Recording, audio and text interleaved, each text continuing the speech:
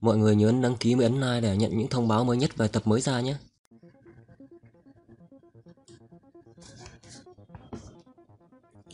Trong đại điện của bất hồi quan, cái gì? Các ngươi nói để mất dấu tên nhân tộc đó rồi. Thứ đồ vô dụng, các ngươi đều là phế vật. Vương, vương chủ đại nhân, tha mạng. Hơi, hiện tại nhân tộc. Trừ đại bọn bát phẩm đi theo, đại quân rút về tam thiên thế giới.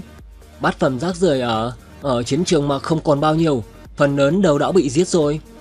Trong tàn binh của nhân tộc, bát phẩm nhiều nhất còn lại là 3 đến 5 người mà thôi. Tên bát phẩm mới chui ra đó rốt cuộc là từ đâu đến.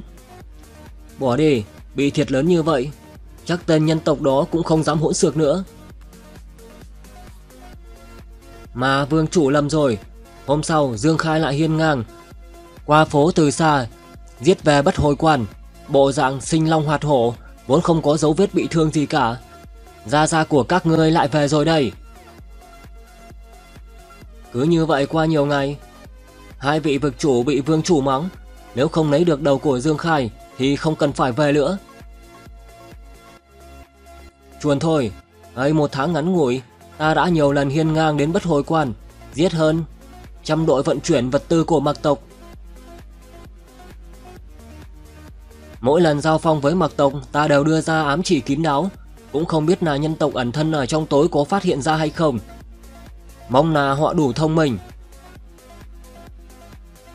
Có nhìn rõ là vị tổng chấn nào hay không?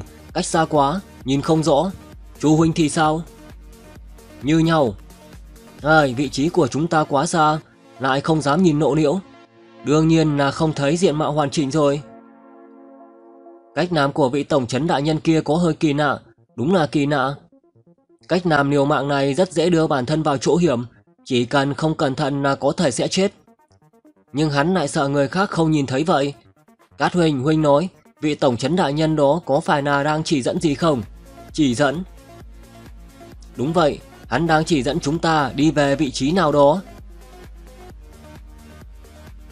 Đúng vậy. Hắn biết có tàn binh như chúng ta ở bất hồi quan thăm dò tình hình, cho nên mới mạo hiểm hiện thân, chỉ dẫn chúng ta chỗ tập trung. Vậy chu huynh cho rằng tổng chấn đại nhân chỉ dẫn phương vị nào? Ta đoán chỗ đó. Cùng lúc đó, Dương Khai lại một lần nữa thoát khỏi chi kích của các thoát khỏi chi kích của các vực chủ mặc tộc. Hoàng tổng chấn tình hình bên ngươi thế nào? Bên đây mọi thứ bình thường, mấy hôm trước gặp một đội mặc lục soát. Một đội mặc tộc lục soát quanh đây, nhưng bọn ta trốn rất kỹ, không bị phát hiện. Vậy thì tốt. Phải rồi, vừa có một đội tàn binh tìm đến chỗ ta, tập trung bình an. Số lượng lính còn sót lại của đội này không nhiều, khoảng mấy chục người. Thật sao, vậy thì tốt quá rồi. Xem ra có người thông minh, nhìn ra ta đã chỉ dẫn. Nếu không thì không thể nào tìm thấy Hoàng Hùng nhanh như vậy. Có một đội lính sót lại, rất nhanh sẽ có đội thứ hai, đội thứ ba. Ta phải tăng thêm chút sức nữa. Nhưng mà mặc tộc cũng không phải là lũ ngu ngốc, tiếp tục kéo dài. Lỡ bị nhìn ra mục đích thật sự của ta là chỉ dẫn phương hướng thì không hay. Tin tốt là vương chủ của mặc tộc tọa chấn, bất hồi quan chỉ có một vị. Nếu là một vị vương chủ, vậy ta hành sự sẽ bớt đi chút hạn chế. Ngày tháng tiếp theo này, Dương Khai vẫn cách vài hôm đến bất hồi quan, gây hấn một lần. Đuổi theo ông này, đồ chó, đừng để ta bắt được người. Mỗi lần đều chỉ dẫn một hướng, một cách mỗi lần đều chỉ dẫn hướng một cách kín đáo. Cố gắng để cho nhân tộc còn sót lại ý thức được mấu chốt ở trong đó. Lũ phế vật các người, vương chủ của mặc tộc của bất hồi quan càng thêm nóng lẩy hết lần này đến lần khác, vây giết khiến nọ. Hậu thấu bát phẩm nhân tộc này. Ngày này, Dương Khai như ngày thường, gây hứng ngoài bất hồi quan, dụ mười mấy vị vực chủ dẫn binh bao vây. Lần này truy binh hơi nhiều. Hờm, chuyện gì thế này? Trong này sao đột nhiên lại có sát cơ Lần này xem ngươi làm sao mà chạy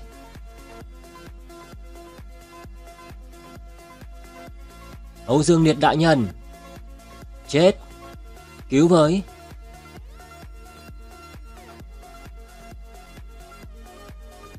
Giết não già này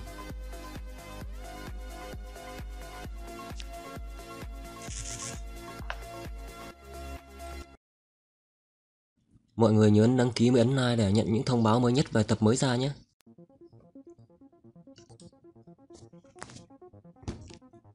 Ngoài bất hồi quan, giết não già này. Không hay, một đao vừa bổ ra là ta tích thế tu hành nhiều năm bùng phát ra, nay sức ta đã kiệt, không thể nào cử động. Để ta.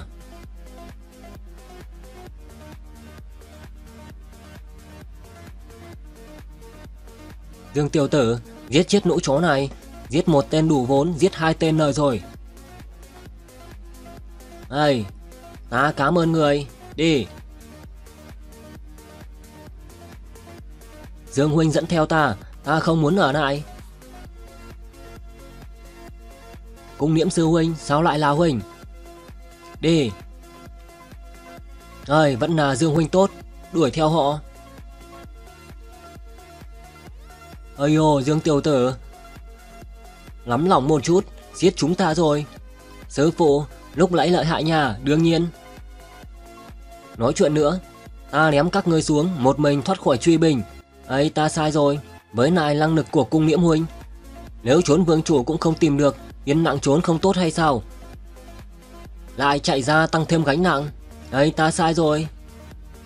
Ta, người im miệng.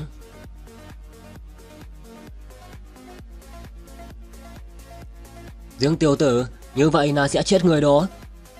Phải đó, phải đó. Phía sau, người đầu tiên bị tấn công chính là sư phụ, thảm quá.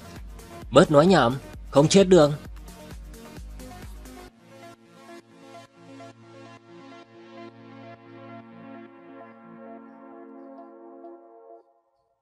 Cuối cùng cũng thoát khỏi truy bình. Ơi, một chuyến này đủ là kinh hiểm kích thích. Dương tiểu tử, cậu rõ ràng là cố ý lấy ta ra làm bia đỡ đạn. Lính cổ lão phu sắp bị đánh gãy rồi. Đa ta ân công, đa ta ân cứu mạng của Dương Huynh. Cũng Huynh, sư phụ của Huynh không có lão, Huynh cũng không có lão hay sao? Cứ như vậy nhảy ra, các ngươi đang cứu ta hay là đang hại ta? Tiểu tử nói ăn nói thế nào vậy? Cái gì gọi là lão phu không có lão? Đầu lão phu to như vậy, cậu không nhìn thấy hay sao? Ơi, cùng huynh à, đúng là gần mực thì đen, gần đèn thì sáng. Đỉnh đầu lớn và mễ đầu lớn, trong đầu toàn là mưu kế kinh luận, ngược lại xem Âu Dương Liệt. Trong đầu e là toàn là nước. Tiểu tử cậu tấn thăng bát phẩm khi nào, tốc độ tu hành này đúng là hay thật đấy.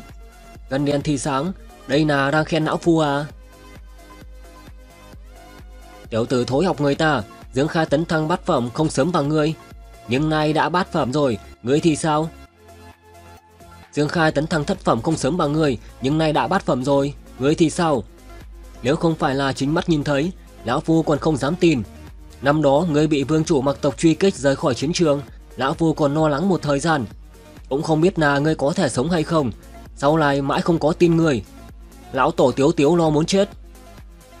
Chuyện này sau này hãy nói, ta muốn hỏi, sao hai người lại ở đây? Mấy năm nay bọn ta luôn ở vòng ngoài của bất hồi quan săn giết kẻ địch. Mấy hôm trước, có một tiểu đội báo cáo, bên ngoài bất hồi quan có động tĩnh của cường giả tranh đấu. Sư tôn dẫn ta đến thăm dò tình hình. Công huynh, sao các người lại ở đây? Không rút về tam thiên thế giới. Theo ta biết trừ một số lính sốt lại, khi quan hải bị phá, phần lớn tướng sĩ của nhân tộc đã rút về tam thiên thế giới. Chẳng lẽ đại diễn quan cũng bị phá rồi? Nếu đại diễn quan cũng bị phá, lão tổ tiếu tiếu chắc chắn là lành ít dữ nhiều.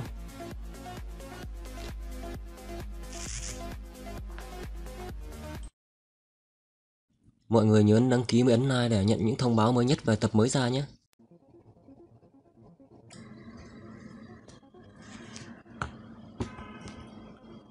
Không như Dương Huynh nghĩ đâu, cả gốc rễ cổ đại diễn quan cũng rút hết về tam thiên thế giới rồi. Chỉ là phía của chúng ta có chút chuyện ngoài ý muốn. Nhìn dáng vẻ cung nghiễm sư huynh, chắc không phải là do lão tiền bối lại làm hỏng chuyện gì đó chứ. Nã phu sơ suất, bất cẩn để cho cắt đứt đường đi của doanh trại, không thể nào rút về bất hồi quan đường. Thế nên phải lưu lạc ở ngoài tìm kiếm các tàn binh. Ơi, chuyện này thực sự đúng là giống chuyện mà ngài ấy có thể làm ra. Chắc là tiền bối cũng lời quan tâm đến trận hình của nhân tộc rồi. Thế nên mới để sơ suất như vậy. Dương Huỳnh, mấy năm nay niêu nạc tứ xứ ở bên ngoài hay sao? Chuyện này nói ra dài dòng, không biết là chư vị có từng nghe nói đến thời Quang Chi Hà hay không? Lúc đó Dương Khai đã thuật lại mọi chuyện mà hắn từng trải qua cho hai người. Ơi không ngờ trên thế giới rộng lớn này lại có sự tồn tại kỳ diệu như vậy. Như vậy chẳng phải là người nào tu hành ở trong dòng sông đó cũng vượt qua khỏi ách tắc được hay sao? Qua ách tắc thì không dám bàn đến, thời Quang Chi Hà chỉ là nơi có tốc độ trôi của thời gian khác biệt mà thôi. Xét cho cùng thì vẫn cần phải tự cố gắng. So với thời Quang Chi Hà, thì thiên tượng, đại hải hợp ý ta hơn. Cũng không biết là não phu có thể có vận may được như tiểu tử ngươi hay không nữa. Tiền bối yên tâm, vãn bối đã có chuẩn bị để sau này có thể tìm thấy thiên tượng đại hải.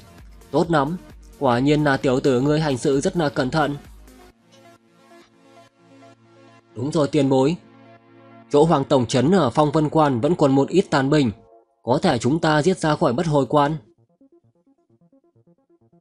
Vậy thì giết đi, con mẹ nó, Lão Phu đã chịu đủ những ngày tháng ẩn đông nấp tây này rồi.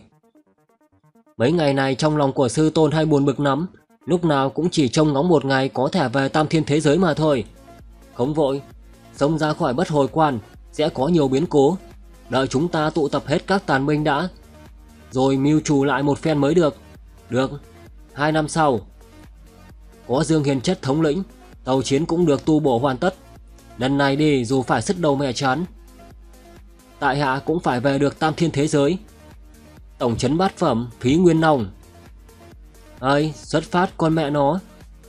Không có chút dáng vẻ của sư tôn nào hết. Thật hết thuốc chữa. Sông lên, sông lên, giết. Đại quân hành động. Lúc thám tử báo về, bổn quân còn không tin, không ngờ ngoài bất hồi quan, lại thật sự có hàng ngàn tàn binh của nhân tộc. Trong quan có 30 vạn đại quân, mặc tộc của ta, với 5.000 quân nhân tộc nhỏ bé. Không bỏ để nhát răng. Ơi, dù đội quân đó từ đâu tới, chỉ cần phá được tàu khử mặc, tới lúc đó mấy ngàn người này, tự ắt là sẽ bị ta chém hết. Các ngươi đi đi tốc chiến tốc thắng, giúp sinh chịu chết. Chuyện gì vậy? Mùi vị của xa hồn kích có dễ chịu hay không? Rốt cuộc là tên phản phái nào vậy? Nhầm rồi, chết chết rồi ư. Lo lắng cho bản thân các ngươi đi. Chi viện Dương Tiểu Tử giết. 5.000 quân đấu với 30 vạn. Không ngờ đại quân của mặc tộc lại bị đánh cho tan tác hết. Rồi không ngừng bị ép về bất hồi quan. Sao ý chí chiến đấu của mấy tên nhân tộc lại mạnh như vậy? Đúng lúc tụ lại một chỗ. Đưa đi một thể. Ấy đạo bí thuật này Vương chủ dương đầu chịu một nhát cũng còn chịu cũng còn khó chịu, chứ không nói đến mà là mấy tên vực chủ tiên thiên như các người. Lắm vị tiên thiên vực chủ, mạnh như vậy mà cũng bị giết sao? Dương sư đệ uy vũ, mặc tộc chết đến nơi rồi. Mười vực chủ ra nghênh đón rồi. Loáng cái đã chết một hơn một, loáng cái đã chết hết một nửa. Đây là lực th đây là thực lực của bát phẩm nhân tộc hay sao? Dương sư chất, hình như đã mạnh một cách quá đáng rồi. Dương Khai vẫn chưa tới đỉnh cao của bát phẩm, đã đến lúc hắn lên đến đỉnh cao sẽ thế nào đây? Có lẽ có thể giết chết vô số vương chủ đấy. Thế thế này phải làm sao? Nếu ta đoán không lầm, chắc tên bắt phẩm này chính là kẻ thường xuyên, không ngờ bất hồi quan đó. Đợi hắn lên kiều phẩm, chẳng phải là giết vương chủ dễ như việc thái rau hay sao? Nhân tộc này, tuyệt đối không thể nào để hắn sống sót rời đi.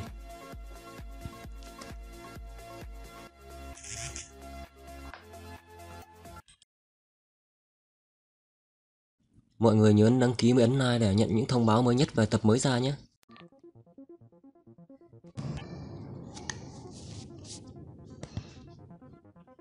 Bất hồi quan Thúc động ba cây xá hồn kích đã khiến cho thần hồn của ta tổn thương nghiêm trọng. Một đạo bí thuật này của Nhật Nghiệt Thần Lân đã tiêu hao cạn kiệt thiên địa vĩ lực của ta. Trận này không thể nào đánh quá lâu. Là mặc tộc vương chủ tọa chấn bất hồi quan kia Mau hợp trận Tứ tượng trận Hơm Kiến càng ngay cổ thụ chịu chết đi Mời lão tổ Nơi này vậy mà còn có một vị nhân tộc lão tổ mai phục Ơi, cho dù là thân vẫn đạo tiêu, thực lực của lão tổ vẫn cao thâm khó lường như vậy. Bất hồi quan cũng mất rồi sao? Chúng ta có lỗi với lão tổ. Các lão tổ vì chống lại mạc tộc mà bỏ ra tính mạng, nhưng bất hồi quan thân là thành nữ cuối cùng của nhân tộc, vậy mà lại mất rồi. Châu của ta đâu? Lão tổ mời xem. Tiểu Nghiêu mau tỉnh lại đi. Rồi chúng ta chinh chiến xa trường lần cuối cùng. Chết đã chết rồi, còn bận tâm cái này, lão gia hỏa có mệt không hả? Vậy thì cũng hết cách rồi, ai bảo chúng ta là lão tổ cơ chứ? Chúng ta phải phụ trách nhiều một chút. Ơi vì đám tiểu bối giết. Cung tiễn não tổ. Khốn nạn. Lão tử liều với các người. Dương Huỳnh, kẻ đến không chỉ là vương chủ, còn có rất nhiều vực chủ. Trước mắt nhánh tàn binh này của chúng ta đã bị 30, 30 vạn mặc tộc đại quân này hoàn toàn bao vây rồi. Chỉ là xuyên qua đạo môn hộ đó, tàn quân có thể giết ra khỏi bất hồi quan, rồi thì xa tận chân trời gần ngay trước mắt. Dương tiểu tử đừng lo lắng. Gánh vác của chúng ta là tương lai của nhân tộc, cho dù là phải chết, cũng không muốn tránh né.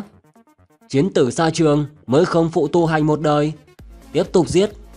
Nếu như xác định phải hủy diệt ở đây, vậy thì giết đến thống khoái đi. Các tiểu tử đều bám theo đi. Thực lực của Ngưu Yêu này sợ là không kém bất sợ là không kém bất kỳ nhân tộc bát phẩm nào, thậm chí là còn mạnh hơn. Các người mau đi đi, mặc tông để Ngưu gia ra ta chặn. Chúng tướng sĩ nghe lệnh toàn lực xung kích. Đó là cơ não tam.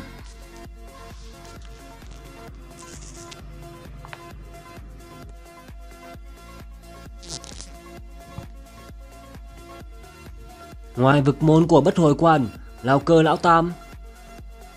Cơ não tam hiển nhiên là bị mặc tộc bắt rồi. Và lại mặc tộc dường như là muốn mặc hóa cơ não tam, nhưng mà chưa thành công. Tiếp tục đừng dừng. Sức mạnh thánh linh đối với mặc chi lực có tác dụng khắc chế khắc chế nhất định. Lúc này môn hộ gần ngay trước mắt rồi, đã không thể nào bỏ lại quân đội của mặc kệ, quân đội mặc kệ. Não già, ngươi có thể an tâm rồi. Không chi vực. Chư vị không được khinh suất, sống ra khỏi bất hồi quan, chỉ mới là bắt đầu mà thôi. Nếu chúng ta đã xông ra khỏi bất hồi quan, những chỗ này nhìn sao cũng không giống với tam thiên thế giới. Dương tiểu tử hồ đồ rồi, ngoài bất hồi quan còn có không chi vực chính là chỗ này. Các tiền bối động thiên phúc địa không phải chưa từng nghĩ qua cục diện bất hồi quan bị mặc tộc công phá, cho nên đã đem đại không vực liên kết với môn hộ, môn hộ đó dọn sạch đặt tên là không vực. Nếu chiến trường của mặc là nhân tộc và chiến trường thứ nhất của mạc tộc, vậy thì không chi vực chính là chiến trường thứ hai do các tiền bối giả tưởng ra. Về sau, về sau nữa mới là tam thiên thế giới thật. Vậy, không vực này có môn hộ cố định hay không? Trừ ta ra, trừ vị ở đây, từng vượt qua bất hồi quan của chiến trường mạng, trả trách họ quen thuộc như vậy.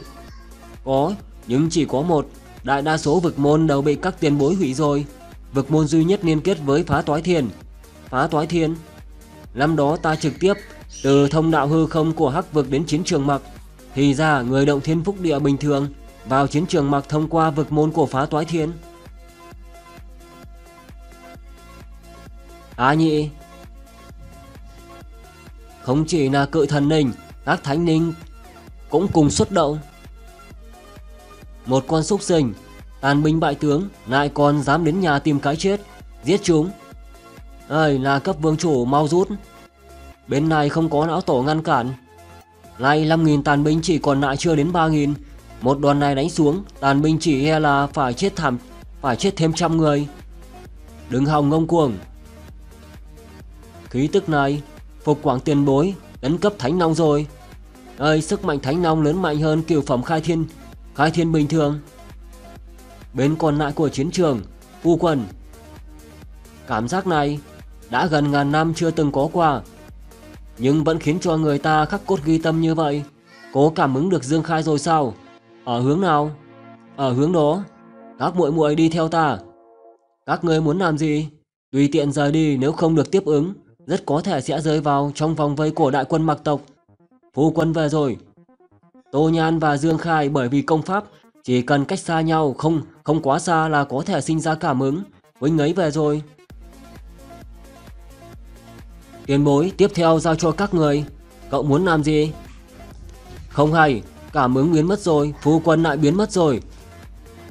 Cô lại làm mất người đàn ông của bọn ta, cô đền.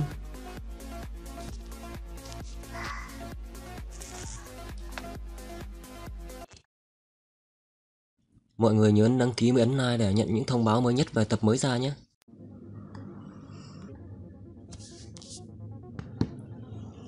Không chi vực Người làm mất nam nhân của ta rồi. Người đền cho ta. Sao ta có thể đền cho ngươi được chứ? Ta đến Dương Khai ở đâu không rõ. Hừm Ây nhân tộc ma tộc yếu tộc thánh đinh Tiểu tử Dương Khai này thật đúng là không chút cố kỵ nào hết. Hắn chịu nổi hả, Hàng nào cũng chơi được. Ây, đã nghe thấy chưa hả? Ngươi đền. Mất cảm ứng có nghĩa là gì? Chàng ấy chết rồi Hoặc là đã rời khỏi nơi này. Nếu có đại vực ngăn cách hoặc là khoảng cách quá xa, Cũng không cảm ứng được. Phương hướng đó là vị trí của môn hộ. Hắn có lẽ là giết từ Phía của mặc chi chiến trường mà về. Đến nay, vậy mà lại không có cảm ứng. Chắc hẳn là, Chắc hẳn là lại giết quay về rồi. Để ta đi xem thử. Các người đừng manh động. Đại tỷ, chúng ta phải làm sao? Còn có thể làm thế nào được nữa? Đợi. Ta cũng muốn giết qua đó. Nhưng nếu là tỷ muội nào ở đây xảy ra chuyện gì, Ta không cách nào bàn giao với Dương Khai. Tô nhàn Trận cảm ứng vừa rồi đúng là Tô nhàn không sai được. Tô nhàn vậy mà cũng đã tham chiến. Các thánh linh ở trong thánh linh tổ địa Chắc chắn là cũng đều cuốn vào trong Đều cuốn vào trong chiến sự này rồi. Không chỉ vực hoang vu, Mặc tộc ở đây không chiếm được bất kỳ lợi ích gì hết. Nếu như đem môn hộ này phong bế lại, Thì có thể hoàn thành. Cắt đứt đường đi của bọn chúng. Đến lúc đó, Bọn chúng sớm muộn gì cũng sẽ bị nhân tộc chảm sát sạch sẽ. Đồng thời lúc này, trên chiến trường của bất hồi quan Làm tốt lắm não nghiêu Nó rất nhanh sẽ trở thành thịt trâu thôi. Cơ não tam cố gắng lên. Không ổn, tên đó lại quay về rồi, Máu chặn hắn lại. Có lão nghiêu của ta ở đây, Sao có thể để các ngươi gây phiền phức với Dương Tiêu Tử? Long hóa Kẻ nào đang lên mặt thật là gai mắt. Dương Khai thì ra là người Cơ não tám, Hóa nhân thân đi. Ây chúng ta đi. Não tổ Ta đã phong bế môn hộ chặt đứt đi Chi viện của mặc tộc rồi. Nhân tộc tất thắng. Đứa trẻ ngoan quả thật là không khiến cho lão phu thất vọng. Không. Nhân tộc tất thắng. Thiếu một chút nữa thôi Kiếm này sẽ chém bản quân thành hai nửa. Đuổi theo cho ta. Một tháng sau. Ây cơ não tam, Hồi phục vẫn hồn chứ? Đan dược mà hư không địa ta sản xuất. Đều là thượng phẩm chi tuyển đấy. Đã tạ ơn cứu mạng của Dương Huynh Chuyến này đã liên lụy đến Dương Huynh rồi. Lúc trước ở trong bất hồi quan, Ta còn coi thường gia hỏa này. Ai ngờ được đến mấy trăm năm sau, Lại là gia hỏa này cứu mạng của ta. Ta về bất hồi quan cũng không phải là Chỉ vì cơ huynh Chủ yếu là phong bế môn hộ đó. Môn hộ nối liền với không vực, Không chi vực Và bất hồi quan đã phong bế rồi sao? Ta từ phía của không chi vực qua đây, Lấy bí pháp phong bế thông đạo. Môn hộ này, Trừ phi có người có bản lĩnh về không gian pháp tắc như ta ra tay. Nếu không, mặc tộc đường hòng mở ra cánh cửa đó. Tốt quá rồi, Như vậy xem ra, Nhân tộc chỉ cần giải quyết Ma tộc ở phía không chi vực này thì có thể triệt để nghiền nát kế hoạch xâm lấn của mặc tộc rồi. Nhưng mà Dương Huynh, Làm sao vậy? Phong bế môn hộ Không phải là kế vạn vô nhất nhất, Vạn vô nhất thất.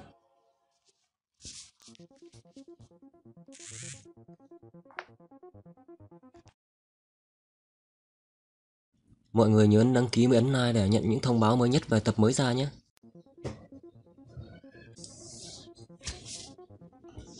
Phá toái Linh Châu Chặn lối ra vào, không phải kế sách không có sơ hở. Dương Huynh có biết tại sao biên hải của chiến trường măng lại rộng lớn bao la như thế hay không? Nghe nói là do rất nhiều đại vực tụ hợp mà thành. Chính vì thế, vì sao các đại vực lớn này lại tự kết hợp lại với nhau Quý huynh muốn nói, đây chính là do mặc chi lực. Không chi vực, Mặc chi lực là sức mạnh vô cùng âm ta, nó không chỉ có thể ăn mòn thâm ăn mòn thân tâm của sinh linh, thậm chí đến ranh giới của vách tường giữa các đại vực cũng bị xâm nhập. Phá toái thiền Khi mặc chi lực ở không gian chi vực đủ mạnh, thì vách tường sẽ tự nhiên biến mất. Mà mất đi bức tường phong tỏa này, giữa các đại vực tự sẽ sát nhập vào nhau, đại quân của mặc tộc sẽ là một thế nước ta không thể nào cản lại. Nhưng mà Dương Huynh cũng không cần phải quá lo lắng, giờ mặc tộc chưa có chi viện, muốn dựa vào mặc trời nước để xâm nhập vào bức tường ranh giới là không thể nào.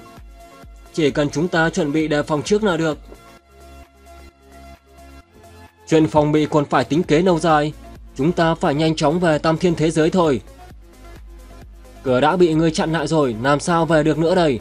Chẳng lẽ ta lại phải mở ra? Vậy thì không cần, ta biết có một con đường thông tới tam thiên thế giới, chúng ta quay về từ chỗ đó đi. 10 năm sau, bí cảnh của chiến khu Bích Nạc. Cơ huynh nhanh lên tìm thấy rồi.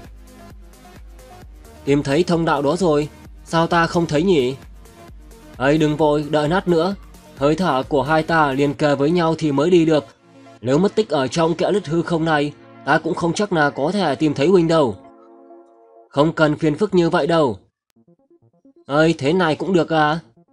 Ấy, ở hình dạng ở hình dạng rồng không phân biệt tướng mạo, có thể lớn nhỏ. Sau này rảnh ta cũng muốn tu luyện bí thuật của long tộc.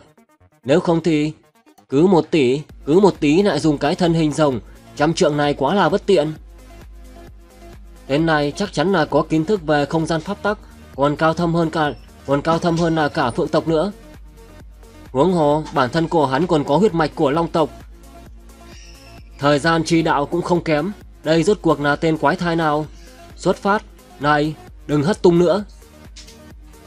Hắc ngục, đây chính là hắc ngục mà ngươi nói. Sao ta không thấy gì cả? Ây, thông đạo này không thể nào để người ta biết được. Nếu không chắc chắn là sẽ mang tới tai họa cực lớn. Hắc ngục chính là như vậy, tạm thời không nói nhiều, chúng ta phải nhanh chóng tới phá toái thiền. Về sau mới có thể tới không chi vực được. Ở phương hướng này đi. Thất phẩm khai thiên là tầng lớp thượng phẩm, hai tên lục phẩm này sao lại là đối thủ được. Không ngờ họ lại có thể đánh nhau không phân cao thấp. Nếu không phải là lão phu vừa mới tấn thăng không bao lâu, không thể nào phát huy ra hết sức mạnh của thất phẩm. Đợi ta ổn định lại cảnh giới của mình, một vài tên lục phẩm như các ngươi có là cái gì? Thế lực của Kim Linh Phúc Địa cướp mất các khai thiên từ lục phẩm trở lên. Đây là thủ đoạn muốn tuyệt hết căn cơ của tông môn ta. Loại lòng lang dạ sói như vậy, các ngươi còn muốn xem kịch đến bao giờ? Kim Linh Phúc Địa cướp lục phẩm khai thiên trợ cướp lục phẩm khai thiên trở lên, chẳng lẽ là vì chuyện của không chi vương? Yến ất 1.800 năm trước, não điện của Kim Nang Điện người lên thất phẩm, rồi bị Kim Linh Phúc Địa cướp người, bây giờ còn có tin tức gì không? Ở vùng núi xa xôi 3.000 năm trước, người lên lục phẩm khai thiên, hôm đó đã bị cường giả của Kim Linh Phúc Địa đưa đi. Hơn 3.000 năm rồi, người chưa từng gặp mặt hắn hay sao? Ta nhớ sao không nhớ được? Nhưng cũng có lỗi khổ không thể lao nói. Não già cửu yên, đừng ăn nói nung tung. Nếu chấp mê bất ngộ, đừng trách sư huynh đệ ta sẽ giết ông. Lão Phu ăn nói ninh tinh, động thiên phúc địa của các người mấy năm này đã làm ra bao nhiêu chuyện bẩn thỉu mà trong lòng không rõ hay sao? Các người muốn giam cầm lão phu không có cửa đâu. Ấy, Cửu Yên tiền bối, chuyện không như người nghĩ đâu, đại sư huynh của ta dẫn ngài đến một nơi, ngài tự sẽ hiểu thôi. Lão phu đã sống từng này tuổi rồi, không phải trẻ lên ba, sao có thể để các ngươi nửa bịp. Giết hết các ngươi, lão phu sẽ tới phá toái thiên, từ đây không ai kìm hãm được ta hết. Cửu Yên dừng tay,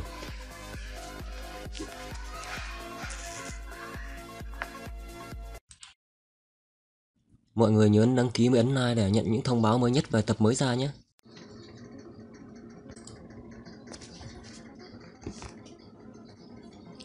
Cửu Yên dừng tay.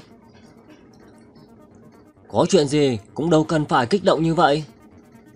Người, người là ai? Đám tặc tử này. Người này có thể dễ dàng chặn lại một đòn tấn công của Cửu Yên như vậy.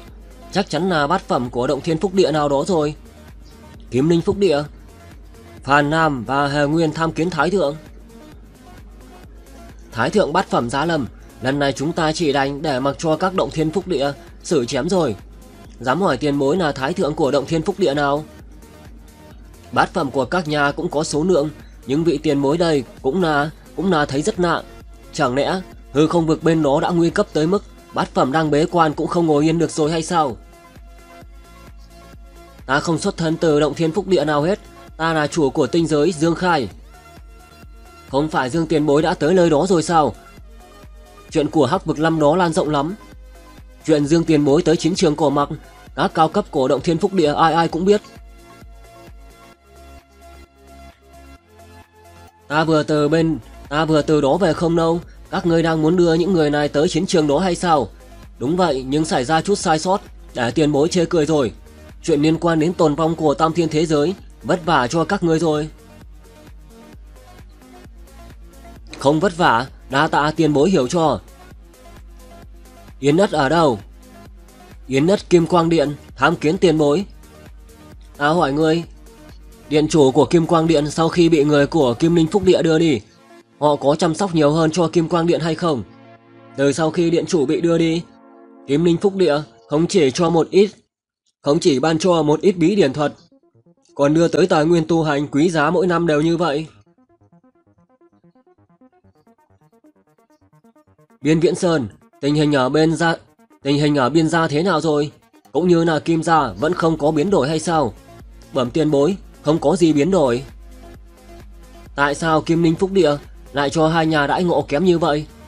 Rõ ràng ta và hắn đều là hai thế lực ngang nhau, cũng không phải là quan hệ của họ họ hàng thân thích gì với các động thiên phúc địa. Các ngươi sống ở tam thiên thế giới này, ở giữa các thế lực, tuy có chuyện xích mích và có giao đấu, nhưng nhiều nhất cũng chỉ là một đại vực giao đấu, chứ không nằm ngoài ân oán tình thù. Nhưng các người làm sao biết được trên nơi, trên đời nơi này? Người ta không biết, lại có một chiến trường tách biệt chính là nơi đang chiến tranh vì tồn vong của nhân tộc. Sở dĩ Kim Linh Phúc Địa đối đãi khác biệt với Kim Quang Điện các người, chính là do não điện chủ của các người đã chết ở trên chiến trường rồi. Tiền bối nói như thế này là có ý gì chẳng lẽ? Chút tài nguyên được báo đáp lại. Lại đổi không ngờ lại là dùng mạng của lão điện chủ để đổi đấy. Thậm chí vị bát phẩm khai thiên này lại có thể dùng đến hai chữ chiến tranh, mà không phải là chiến đấu. Rốt cuộc là một chiến trường như thế nào mà có thể dính níu đến nhân, nhân vật lớn như vậy? Dương Thái Thượng chuyện này, mấy nhà chúng ta đều đã giấu rất lâu rồi, sao Thái Thượng lại thẳng thắn như vậy? Dù gì cũng phải đưa họ tới nơi đó, biết sớm hay muộn thì có gì khác biệt. Bây giờ không chi vực chiến sự gấp gáp, không có thời gian để lãng phí nữa đâu. Có lẽ các ngươi thấy ta đang buông lời đe dọa, nhưng bổn tọa muốn hỏi một câu. Nhiều năm trở lại đây, các ngươi chưa từng nghĩ truyền thừa của các động thiên, của các động thiên truyền thụ lại nhiều như vậy. Tại sao các lục phẩm, thất phẩm, cho tới bát phẩm khai thiên lại biến mất không hình không bóng? Đó là vì đa số bọn họ đều được đưa đến chiến trường. Họ và các người cũng chưa từng biết đến chiến đấu với kẻ địch, trận cũng là chuyện thường tình. Tam thiên thế giới có được yên ổn như ngày hôm nay, các đại động thiên phúc địa có công lao cực kỳ lớn. Là sự chết đi và cố gắng của từng đời người đổi nấy. Nói như vậy thì các đại động thiên phúc địa đã bị chúng ta lên ôm hận nhiều năm đang là người bảo vệ cho khắp vũ trụ này. Kẻ địch đang chiến đấu với các động thiên phúc địa chính là mặc tộc. Hơn 200 năm trước, chúng công phá phòng tuyến đầu tiên của chúng ta, bây giờ lại đang công phá phòng tuyến thứ hai ở đằng sau phá toái thiên này với nhiễu không chi vực. Đạo phòng tuyến đó là phòng tuyến cuối cùng mà nhân tộc có thể dựa vào. Nếu không chi vực bị phá, cả thế giới này không còn tam thiên thế giới nữa. Những chuyện này đều chẳng bằng một câu nói của nhà các người. Sự thực thế nào, sao bọn ta biết được? Đừng giết ta. Một khi đã bị chiếm nhiễm rồi, thì rất nhanh sẽ bị ăn mòn toàn bộ. Trở thành mặc đồ, lúc đó sẽ bán mạng cho mặc tộc. Đây chính là mặc chi nực. Tiền bối tha mạng, tiền bối tha mạng, tiền bối tha mạng, cửu yên, cửu yên sai rồi.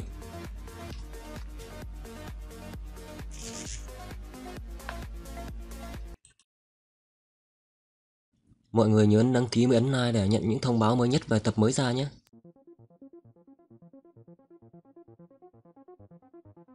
Ngoài càn khôn điện, tiền bối tha mạng, tiền bối tha mạng, tiền bối tha mạng. tiểu Yên biết sai rồi. tiểu càn khôn bị mặc chi lực xâm nhập, thượng phẩm khai thiên có thể dùng cách cắt đi biên cương tiểu càn khôn của mình để bảo toàn bản thân. Dưới khai thiên thì không có cách nào khác đâu. Tiền bối ta Cắt đi biên, biên cương của tiểu càn khôn của mình sao? Thật sự là làm như thế. Ta chắc chắn là sẽ rớt xuống lục phẩm, sau này không thể lao lên thất phẩm được nữa. Ở chiến trường đó, có vô số tướng sĩ bị mặc tộc xâm nhập, tàn sát chém giết huynh đệ năm xưa. Các ngươi đã được cảm nhận được đau khổ khi tận tay giết người mình yêu bao giờ hay chưa? Mặc chi lực quá là tà môn, hóa ra là vậy.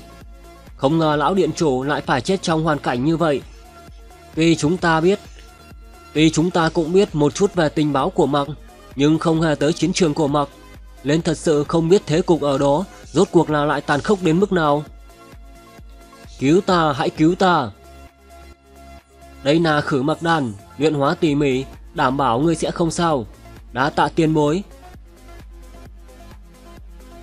Động thiên phúc địa canh giữ tam thiên thế giới mấy chục vạn năm, vốn dĩ những chuyện này không liên quan đến các ngươi, chỉ là chiến sự trước mắt đang căng thẳng, các ngươi. Kim Quang Điện nguyện chết vì nhân tộc. Bọn ta nguyện chiến đấu, chiến đấu vì nhân tộc, không chết không nuôi. Tốt, có sự quyết tâm này của các người và bao ý chí của những người ở tam thiên thế giới, mối họa của mặc tộc không phải lo nữa. Còn ngươi, Kiểu Yên nguyện vì nhân tộc vạn chết không từ. Hờm, nếu không phải là trước mắt đang nhúc nặng, đang lúc nhân tộc chúng ta cần người, thì ta nhất định là phải dạy dỗ người một trận. Ta phạt người tới chiến trường, lấy công chuộc tội. Đa tạ tiền bối khai ân. Dương Huỳnh lúc nào mới có thể tới phá toái thiên? Đây không phải là hướng tới phá toái thiên, ta sẽ về hư không địa một chuyến. Hư không địa, Huỳnh đừng có mà có ý định khác đấy.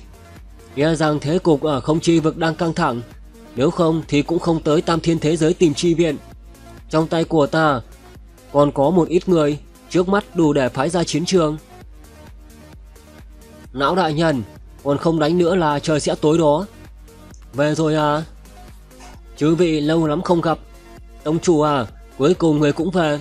Thuộc hạ đợi người cả ngàn năm này, cuối cùng cũng đợi được ngày này rồi. Á Phi à, mấy ngày nay sống cũng nhẹ nhàng nhỉ. Nhìn thấy hơi thở, thì A Phi đã liên tục, đã lên lục phẩm rồi. Làm lúc thu nhận hắn vào trung nghĩa phổ hắn mới chỉ tứ phẩm, do với hôm nay không phải chỉ là một cách biệt một chút thôi đâu. Toàn là do tông chủ bồi dưỡng, thế nên mới có thuộc hạ.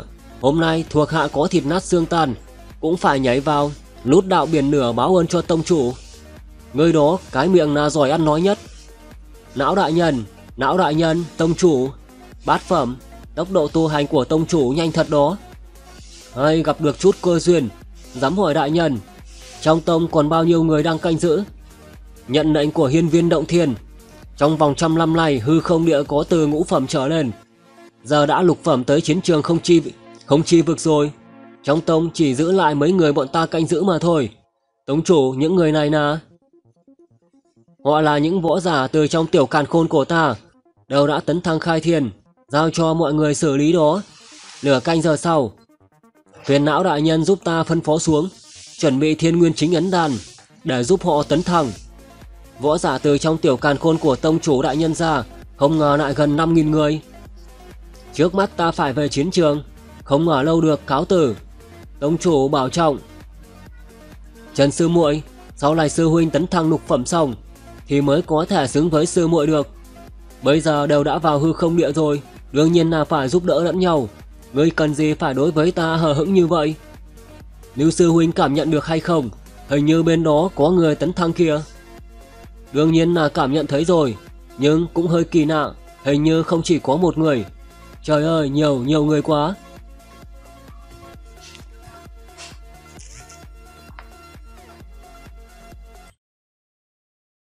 Mọi người nhớ đăng ký và ấn like để nhận những thông báo mới nhất về tập mới ra nhé.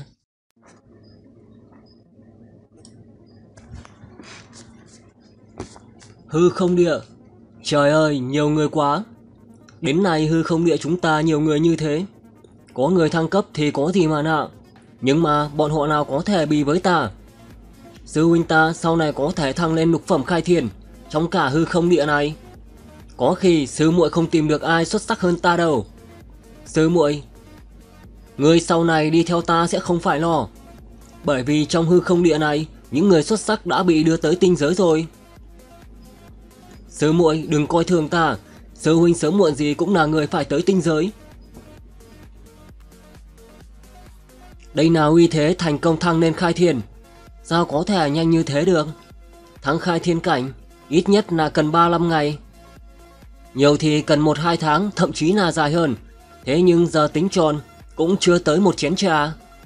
Sư huynh, đó là khí tức của lục phẩm đúng không? Không thể nào, có thể thăng lục phẩm sớm đã bị đưa tới tinh giới rồi. Nào sẽ ở lại hư không địa, đây chắc chắn chỉ là ngũ phẩm. Ây, Nục Sư Huynh, hai người này cũng là lục phẩm nhỉ? Không, bọn họ cũng là ngũ phẩm. Còn mẹ nói chứ, nghĩa nào, thiên địa pháp tắc thay đổi, thăng khai thiên trở lên dễ dàng rồi. Những tên này xuất sắc như thế nào, sao không đi tới tinh giới? Ở đây vả mặt của ta, diệt mất nhân duyên của ta. Nhưng hai luồng khí tức này đỉnh hơn ban nãy nhiều mà sao lại là ngũ phẩm? Sư huynh, người đi đâu vậy? Về bế quan tu hành. Hôm nay chúng ta bị đả kích thật, đợi ngày nào ta quay lại, chắc chắn là sẽ khiến cho sư muội xinh đẹp đổ dạp dưới chân.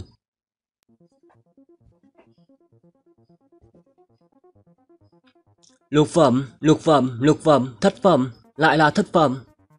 Trời ơi, đám người của tông chủ gửi tới, cũng đỉnh quá đi, gần như là trong mỗi người sẽ có một vị thăng nam thất phẩm. Đúng là sóng sau xô sóng trước. Nếu là lúc trước đây, cả ngàn năm, cả ngàn năm đục trời đục đất cũng không dậy ra nổi một đệ tử thất phẩm, người thăng lên thất phẩm, tương lai có thể lên cửu phẩm chí tôn. Lần này tông chủ chúng ta mang tới không phải là giúp đỡ, mà là giáo thế chủ có thể xoay chuyển can khôn. Đi tra xem, trong đám đệ tử từ những người thăng cấp, thăng cấp tới lục phẩm, trở lên là bao nhiêu người? Rõ. Một nát sau, Ngươi nói gì? Có gần 5.000 người thăng lên lục phẩm, thất phẩm rồi.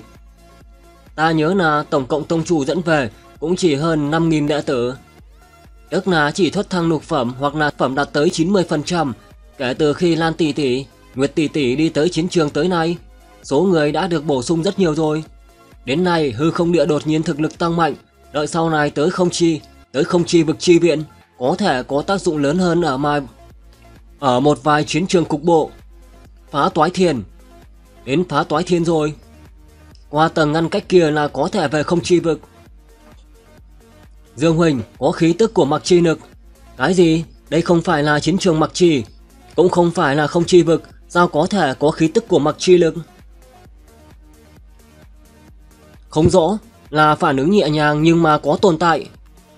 Ta đã phong tỏa mặc chi lực ở trong tiểu càn khôn. Có cảm ứng nhạy cảm với mặc chi lực. Khí tức này ta còn không nhận ra, sao người lại phát hiện? Long Phương chủ trì chấn thủ, không quay lại rất là nhạ, rất là chán nản. Nên mới tạo ra một mật thuật. Nhờ có sự thúc đẩy của thánh linh chi lực, có thể quan sát mặc chi lực. Ta rảnh rỗi không có việc gì làm. nên chuyên một, nên chuyên một chút. Hướng nào? Phàm là một chút mặc chi lực tồn tại, có lẽ sẽ nguy cấp đến sự an nguy của cả một tòa thành, không thể nào xem nhẹ được. Bên đó, nhiều lắm là nửa ngày nữa. Phía trước có mặc chi lực phân tán. Đi thôi. Bất kể là mặc đồ hay là mặc tộc, ta đều phải nhanh chóng móc ra đám người này. Nếu không, công sức của không chi vực sẽ trở lên vô ích.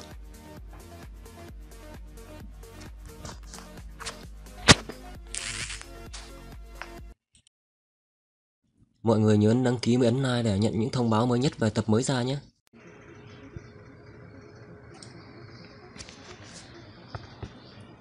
Phá toái thiên, Phá La Châu Phá La Châu. Trong Linh Châu này có hơi thở của mặc chi lực. Dựa vào mức độ tinh túy của mặc chi lực này, Trước mắt chỉ có thể xác định là mặc đồ đang dở trò. Nhưng mà Linh Châu to lớn như vậy, Nơi cụ thể của bọn họ lại rất khó tìm được. Cho dù không phải là mặc tộc Đột nhiên sinh ra mặc đồ Cũng đủ để kinh khủng rồi Rốt cuộc là bọn họ từ đâu mà đến vậy Phả La Châu đường lớn của chủ thành. Thiên Na thần quân có lệnh truyền xuống, Ninh Châu này là do ai chủ trì, mau đến tiếp lệnh. Phả La Châu, Đàm Xuyên bái kiến hai vị đặc sứ. Không kịp đón tiếp từ xa, mong đừng trách tội. Thì ra nơi này là do Đàm Xuyên huynh làm chủ hả? Sư huynh muội ta từ lâu rồi chưa rời khỏi Thiên Na Cung, không hề biết việc này. Ô huynh chê cười rồi. Lời thô kịch này tự nhiên là không thể nào so sánh được với Thiên Na Cung rồi. Không biết nào ô huynh chuyến này đến, thần quân là có lệnh gì truyền xuống vậy? Phụng lệnh của gia sư, mệnh lệnh cho Phả Lai Châu, Đàm Châu tập hợp đủ 200 khai thiên cảnh trên ngũ phẩm trong vòng 3 tháng đến địa điểm được định, đến địa điểm chỉ định để hội họp. Ô Huỳnh, đây là chuyện gì vậy? Đàm Xuyên Huỳnh không cần phải hỏi nhiều, mau đi tập hợp nhân thủ là được. Ô Huỳnh, không bằng vào trong ngồi nghỉ ngơi một chút, không cần. Phả La Châu có một đặc sản gọi là Ngọc Linh Quả. Quý Huỳnh muội một đường vất vả, giải khát một chút rồi đi cũng không muộn. Sư Huỳnh, Ngọc Linh Quả này mỗi lần sau khi dâng lên Thiên Na Cung đều bị mấy sư tôn chia nhau hết. Ta chưa được nếm thử bao giờ, Nghe nói rất tốt cho ta, nghe nói rất tốt cho ra. Đành vậy đành vậy, vậy thì đàm xuyên huynh vào trong nghỉ ngơi chút vậy. Hai vị mời đi bên này. Dâng quả. Hai vị đặc sứ, quả này vừa mới hái xuống phải lập tức ăn vào, như vậy hiệu quả mới có thể tốt nhất. Ây, sứ muội, muội làm sao vậy? Đàm xuyên, người đã giả trò gì trong quả này Vừa rồi ta ăn quả vào bụng, rõ ràng phát hiện ra có một cố năng lượng kỳ quái bị hút vào tọng, bị hút vào trong bụng. Tiểu càn khôn vốn tinh thuần, vậy mà lại có thêm một tia sức mạnh hắc ám. Đàm xuyên, ngươi muốn chết. Trường kiếm không mắt, ô huynh vẫn là cẩn thận một chút, làm tổn thương tính mạng của đàm mỗ thì không sao. Lệnh sư muội sợ là không cứu được thôi. Ngươi là người của hai vị thần quân khác ở trong phá toái thiên. Sư muội là đệ tử mà sư tôn yêu thương nhất, nếu muội ấy có mệnh hệ gì, bọn họ sẽ không tha cho ngươi đâu. Ơi nực cười, người chỉ là Thành Dương và Khô Viêm sao? Hai vị thần quân cũng xứng chỉ thị cho ta. Đàm Xuyên vậy mà không phải là người của hai vị thần quân, vậy còn có thể là thế lực phương nào cơ chứ? Ô huynh cứ yên tâm đi, tính mạng của lệnh sư muội không đáng ngại, chỉ cần ô huynh nguyện ý phối hợp đám mỗ sẽ tặng cho hai vị một con đường thông thiên, đến thẳng võ đạo đỉnh phong. Đừng có giả bộ ở đó nữa, nhìn dáng vẻ của sư muội hiện giờ, ngươi còn nói không có ý hại người. Nếu nhớ không nhầm, ô huynh năm đó là trực tấn tứ phẩm nhỉ? Lệnh sư muội thì trực tấn ngũ phẩm, ngày sau cô ta có cơ hội trở thành thất phẩm, ngươi lại chỉ có thể trở thành lục phẩm. Sao các ngươi có thể xứng với nhau đây? Vậy thì đã sao lại nói, nếu thật sự có cách để đến thẳng võ đạo đỉnh phong, sao ngươi chỉ có thể là lục phẩm cơ chứ? Nếu như đàm mẫu đột phá, lúc nào cũng có thể. Sao ngươi có thể? Chỉ trong phút chốc, hơi thở của đàm xuyên đã đột phá trình độ mà lục phẩm lên có, tiếp cận với thất phẩm rồi. Cảnh tượng này không thể nào tin được. Sư huynh đừng tin hắn, đây chính là mặc chi lực mà sư tôn đã nhắc đến. Hai người các ngươi hãy nhớ đấy, Thiên Na Cung phải phối hợp với động thiên phúc địa đối đầu với mặc tộc. Chuyến này ra ngoài, các người phải cảnh giác một loại sức mạnh hắc ám gọi là mặc chi lực. Mặc chi lực đen tối như mực, có thể xâm nhập vào tiểu càn khôn của khai thiên cảnh. Bệnh trạng trên người của sư muội chẳng phải chính là mặc hóa trong lời sư tôn đã nhắc lúc trước hay sao? Các người biết sao nếu đã vậy, vậy cũng đỡ cho ta phải giải thích thêm. Không sai, đây chính là mặc chi lực. Thì ra người nào mặc đồ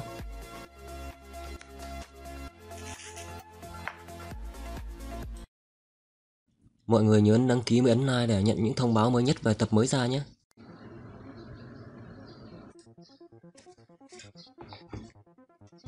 Hóa ra ngươi là mặc đồ, phải thì sao hơn nữa. Mặc đồ chỗ này không phải chỉ có mỗi mình nhà lao đó.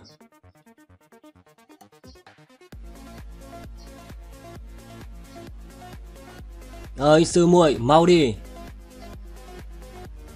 Ta cầm cố đại trận. Chỉ sợ là thời khắc phát thiệp mời ở đàm xuyên đó bắt đầu, Thì đã có tính toán rồi Lực cười, Hai người chúng ta lại ngây ngốc tự chui đầu vào rọ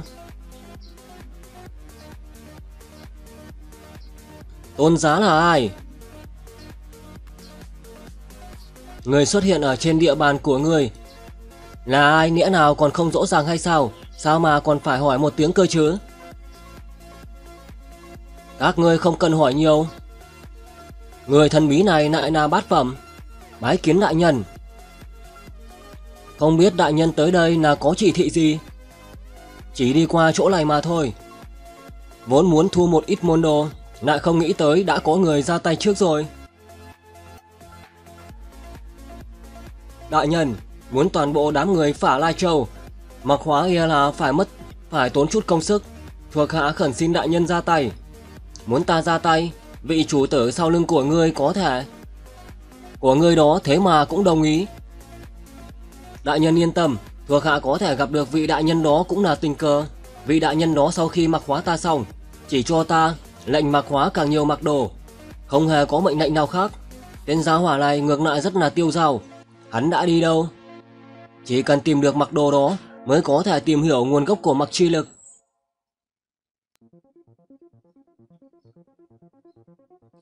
Ây, vị đại nhân đó có có nói rõ hướng đi, có điều thuộc hạ nhìn hướng đi, di chuyển của vị đại nhân đó và một vị đại nhân khác, hình như là bên phá toái hư. Phá toái hư? Vị trí chỗ của Thánh Ninh Tổ Địa, mặc đồ đó đi qua hướng của phá toái hư, làm cái gì nhỉ? Hơn nữa còn không chỉ có một mặc đồ là hai tên. Vậy tu vi của bọn họ thế nào? Vị ra tay mặc hóa thuộc hạ có lẽ cũng giống như là đại nhân là bát phẩm. Vị còn lại mặc dù chưa ra tay, nhưng xem ra cũng không khác lắm. Hai người bát phẩm là vốn dĩ ẩn nấp ở trong ba ngàn thế giới hay là từ bên không chi vực tới đây. Nghĩa nào lại xuất hiện thông đạo liên kết với ba ngàn thế giới nữa. Chỗ phả La Châu bên này bổn tọa đã ra tay là được. Bổn tọa bây giờ có nhiệm vụ khác giao cho các người. Xin đại nhân chỉ thị.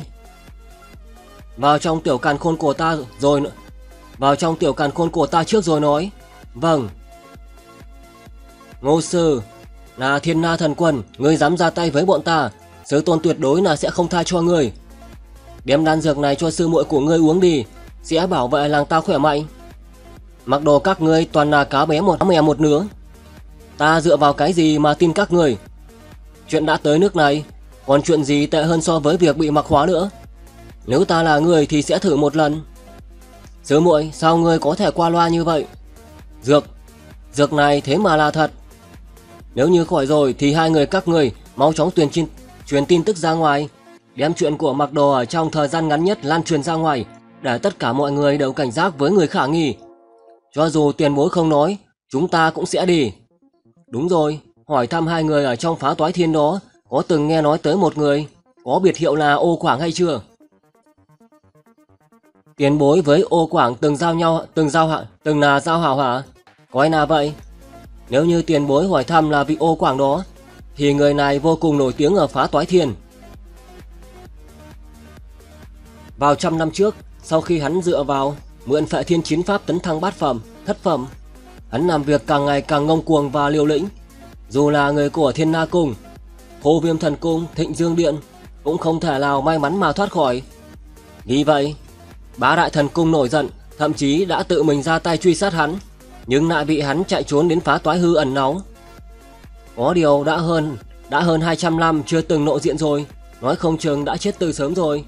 Tên gia hỏa này không dễ chết như vậy đâu. Chỉ có điều, một tầng thần thông, một tầng thần thông hải sóng lớn biến, lớn biến hóa. Lớn biến hóa kỳ lạ của phá toái hư, ô quảng xác suất cao là bị nhốt ở trong đó rồi. Trong chiến trường của không chi vực, đại bổn tôn luyện hóa, thốn phá huyết nhục của người, tu vi nhất định là sẽ không chỉ là tăng vọt gấp mấy lần thôi đâu. Thô bạo cướp đi hơn một nửa năng lượng, ô quảng, ngươi còn mặt mũi không vậy?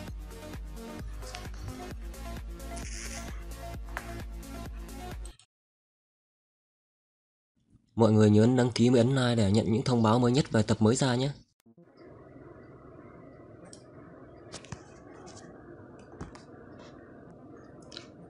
Trên chiến trường không chi vực, Hồ Quảng, ngươi còn cần mặt mũi hay không? Một mình ăn nhiều rồi, cẩn thận vỡ bụng, bổn tọa phân lưu cho người. Không phải cảm ơn. Đáng chết, Vốn tưởng là đại diễn bất diệt huyết chiếu đã có thể xem là công pháp tá ác nhất thế gian này rồi. Ai mà còn ngờ gặp tên đáng chết này. Đá tạ tiếp đãi. Vệ thiên chiến pháp của tên này lại có tác dụng giống với đại diễn bất diệt huyết chiếu kình. Hắn cũng có thể luyện hóa mặc chi nâng. Và lại, nghe nói vệ thiên chiến pháp này còn là công pháp hắn tự sáng lập ra. Ấy, huyết nha, mặc tộc tháng này ngươi lút ít hơn ta một nửa. Tài không bằng người rồi phải không? Cút. Một tên có tài năng xuất chúng biết bao, lại khiến người ta ghét như vậy. Đáng tiếc, lĩnh vực thôn phệ luyện hóa của đại diễn bất diệt huyết chiếu kinh thua phệ thiên chiến pháp. Nếu thật sự là đơn đả độc đấu với họ, phần thắng của ta không bằng. Nếu không sẽ không thể nào để hắn hống hách như vậy. Mượn tính thôn phệ lớn mạnh ở trong công pháp của bản thân, huyết nha ô quảng, đánh ra tiếng tăm lớn ở trên chiến trường không chi vực. Trong thất phẩm khai thiền, hai người nổi tiếng nhất. Bây giờ ô quảng và huyết nha đều thuộc đại diễn quản lý, trở thành cánh tay trái tay phải, dưới tọa của Tổng trấn Phùng Hành. Năm đó thoát khỏi thần thông hải, tình cờ vào thánh ninh tổ địa, lại từ trong tổ địa tình cờ đến đây, đúng là duyên phận của ta. Năm đó ta đi lạc vào thánh linh tổ địa, gặp phải phiến khinh na họ. Lúc muốn đưa ta ra ngoài, mặc tộc công về bất hồi quan, đánh vào không chi vực. Long Phụng hai tộc đưa đến tin báo, bảo các thánh linh ở trong tổ địa không đến, đến không chi vực để giúp đỡ. Sau khi nhận được tin này, đứng đầu là tứ phụng các của con của côn tộc, các thánh linh vội vã chạy về bất hồi quan. Ta thấy có rất vui để xem, Ấy có, ta thấy có chuyện vui để xem nên đi theo. Bắt đầu từ hôm nay, ngươi được nghiệt vào đại diễn quan. Bây giờ nghĩ ra đúng là một quyết định thông minh, bởi vì có quan hệ với Dương Khai. Ta và Tô Nhan họ đều được liệt vào trong đại diễn quan, được não tổ tiếu tiếu bảo vệ. Vậy thì có thể tự do thi triển vệ thiên chiến pháp, cũng không ai muốn chiếm giết ta nữa. Đúng thật là sung sướng, tu vi của ta cũng không ngừng tăng lên. Đừng nói tới việc ta còn huyết nha huynh, cùng năng lực có thể lướt trường mặc tộc. Huynh đệ, lần sau lại cùng hợp tác. Cút! Phá toái thiền, nếu các ngươi bị mặc chi lực xâm nhập ăn mòn, trước khi chưa hoàn toàn chuyển hóa thành mặc đồ, uống đan dược trong chai này là có thể xua tan mặc chi lực. Đa tạ Dương Sư Huỳnh, đi trước đây. Không đến không chi vực nữa, phá toái thiên cố biến động, nay chỗ này lại xuất hiện mặc đồ, Ta cần phải tìm ra hành tung và lai lịch của chúng. Cơ Huỳnh, có một việc phải phiền đến Huynh rồi, Huynh nói. Mời cơ Huynh đến không chi vực một chuyến, đem chuyện phá toái thiên xuất hiện mặc đồ nói với các não tổ. Ngoài ra hỏi các não tổ, có từng có bát phẩm khai thiên bị mặc hóa hay không? Nếu có, vậy thì không chi vực và phá toái thiên, nghe là đã liên kết nhau rồi. Bảo các não tổ nhất định là phải tìm được chỗ liên kết, nghĩ cách chặn lại, phụng tộc phục hậu có bản lĩnh này. Ta hiểu rồi, ta đến không chi vực ngay. Đúng rồi, nhớ là còn phải bảo bên đó phái một ít người đến phá toái thiên, chặn môn hộ của phá toái thiên. Bên phá toái thiên đã có mặc đồ, nếu không mau phong cấm lại, lạn mặc tộc e là rất nhanh sẽ lan đến các đại vực khác. Một mối họa mặc tộc của phá toái thiên còn có thể xử lý nếu quá nhiều đại vực bị mặc chi lực xâm nhập Thế thì hoàn toàn không thể nào giải quyết được. Được, vậy ta đi trước. Cậu chờ tin tốt của ta. Nghe tên mặc đồ lục phẩm đó lỗi hắn vì gặp phải hai vị mặc đồ bát phẩm mới bị người ta mặc hóa. Người có hoàn cảnh như là tên mặc đồ lục phẩm đó, phá toái thiên chắc còn một ít. Mục đích của hai tên bát phẩm mặc đồ đó là gì? Họ đến phá toái hừ, không thể nào đến thánh ninh tổ địa. Bên đó cũng không có thứ gì khiến họ quan tâm. Luôn cảm giác như là có thứ gì đó đã bị ta bỏ qua. Ý, thứ, chờ đã chẳng lẽ. Thánh ninh tổ địa, phong ma địa, cự thần ninh màu đen. Trong thánh ninh tổ địa có một cự thần ninh màu đen sớm đã qua đời nhiều năm, nhưng cơ thể vẫn còn. Mặc tộc có thể đánh thức cự thần ninh màu đen ở cận cổ chiến trường, thì làm sao không thể đánh thức con ở thánh ninh tổ địa? Đáng chết, Ta biết mục đích của họ là gì rồi. Họ muốn đánh thức con cự ninh thần. Họ muốn đánh thức con cự thần ninh màu đen ở thánh ninh tổ địa. Cự thần ninh loại sinh linh này quá mạnh. Cho dù là 10 vị cường giả cấp lão lão tổ liên thủ cũng chưa chắc có thể làm gì được nó. Ngoài thánh linh tổ địa. Ơi, nếu mặc tộc thật sự là có năng lực đánh thức con cự thần linh màu đen ở thánh linh tổ địa, vậy thì mọi thứ xem như là xong rồi. Với thực lực của cự thần linh màu đen, trừ khi có một con cự thần linh khác kiềm chế, nếu không không ai có thể ngăn cản được nó. ấy không được rồi, ta tuyệt đối không thể nào để họ thành công.